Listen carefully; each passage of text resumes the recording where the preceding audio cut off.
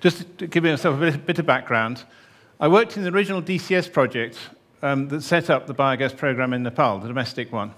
That was from 1977 to 1984.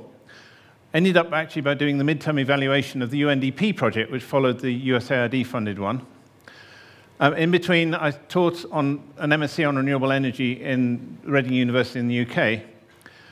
But one of my, also been doing consultancy work, one of my most interesting projects was working for Ashden.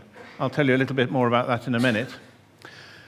Um, two years ago, I worked with Govinda, and we did an evaluation of the domestic program um, run by SNV, both in um, Nepal but also in Bangladesh, Vietnam, Cambodia, and Laos. And I also wrote up a report, a sorry, a book on running a biogas program based on the work that we did uh, originally in Nepal. And uh, hopefully that I'll be able to present a new version by the end of this year. I've almost finished writing it. So what I'm trying to say is the best people to develop processes to so solve local problems are local people. And people within any country have got indigenous skills that we need to use in order to get a, a proper application of technology. And the most cost-effective solutions are often the most simple ones. I got involved in this many years ago with practical action. Um, that was Fritz Schumacher's idea of small is beautiful. But one of the essential issues there is that the most simple solutions aren't necessarily the most easy to develop. We have to do a lot of work to find out a, a low-cost solution that will work effectively. So I'm very keen on research and development. Right, I'll tell you a little bit about Ashden. It's part of the Sainsbury Foundation, which is one of the big charitable organizations in the UK. And they give awards for the best renewable energy projects in the world.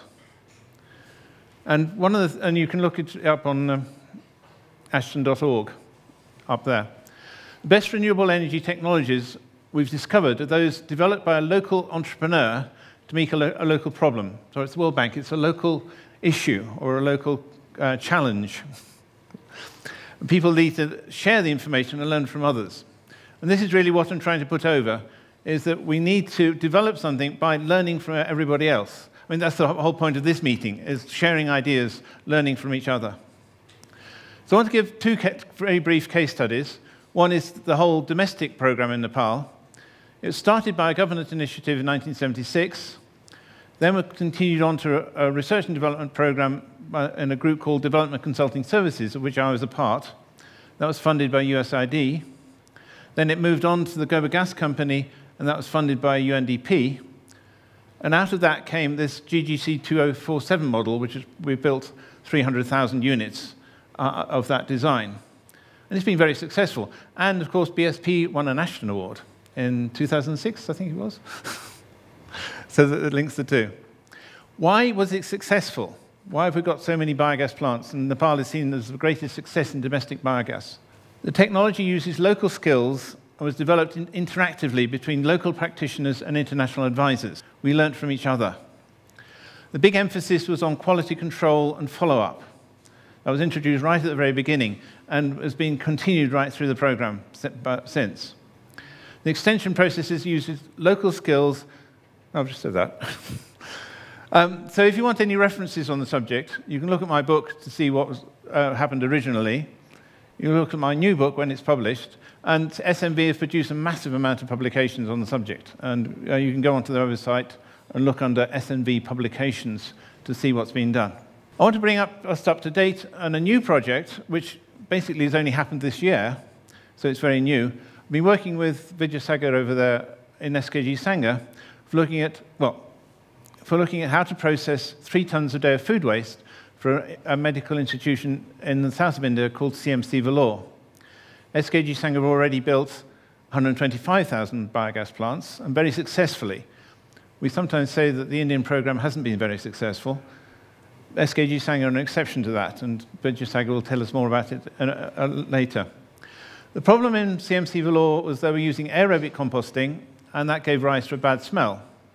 They got so much of a big problem that the po local politicians were getting involved. So I worked with SKG Sangha to build a biogas system that will deal with this smell. Or just, I will mention Kingdom Bioenergy. It was a friend of mine um, set the company up for me, and it was her idea that we call, should call it Kingdom Bioenergy. Just to quickly have a look at the Vellore system. It's a fixed dome underground plant of a larger scale. So this is the, um, as basically you all know about digging deep pits. Again, it's very conventional. You've already seen it building a wall. But the key thing was using Deenbandhu techniques to build a fixed dome underground of a much larger scale. So that's a total a large-scale underground fixed dome. And that is a, a new innovation. Well, actually, it's not an innovation because I saw this technique used in um, Rwanda, which was very successful. So I could say we can take the Rwandan idea, actually developed by a Tanzanian engineer, and we can use it in South India. And that's just the and what it looks like inside. They're just plastering the dome. Just a few statistics. Um, the cost is um, 3.5 million Indian rupees, which is about 5.6 million Nepali rupees.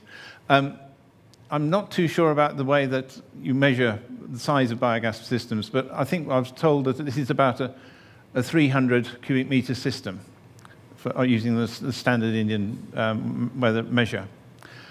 So uh, we're hopefully getting 300 cubic meters per day of biogas, which is equivalent to um, 112 kilograms of LPG per day. So we've got quite a good return on investment.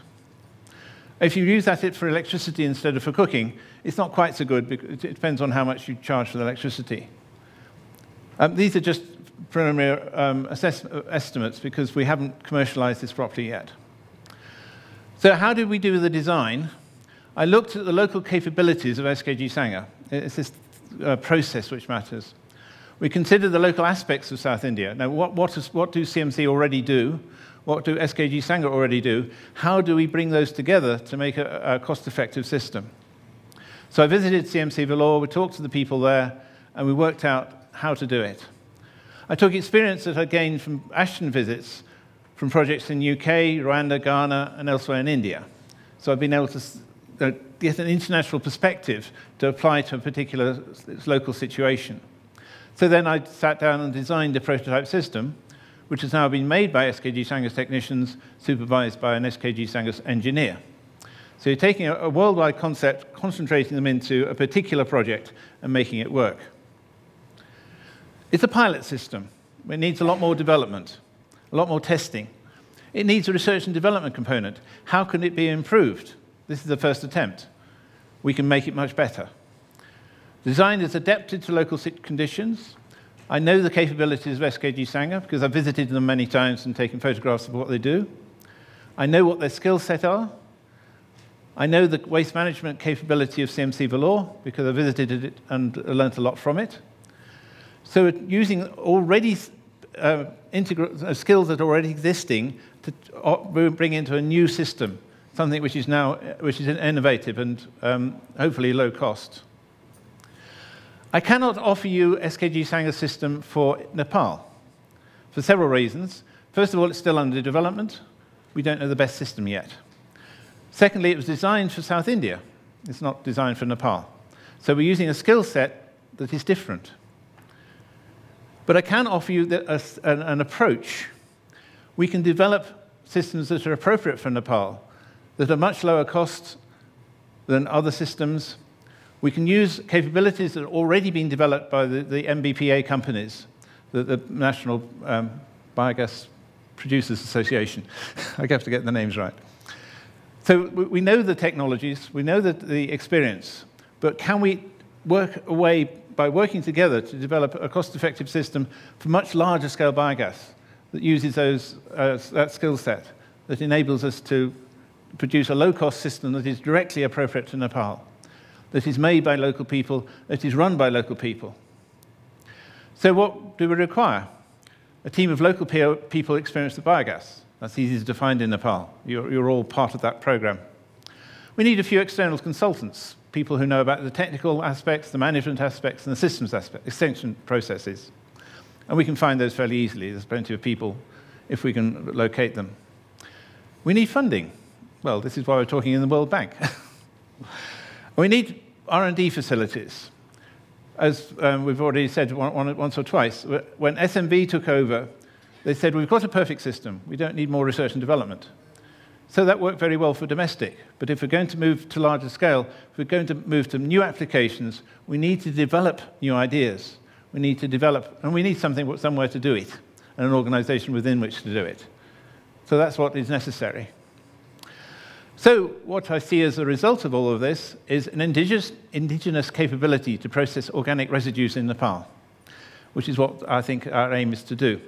If you want to look at my websites, um, Kingdom Bioenergy is my own personal one. Um, I'm a consultant, and th that's what, how th the mechanism through which I work. Foundation SKG Sangha is an international charity which we set up to internationalize the work that SKG Sangha are doing in India.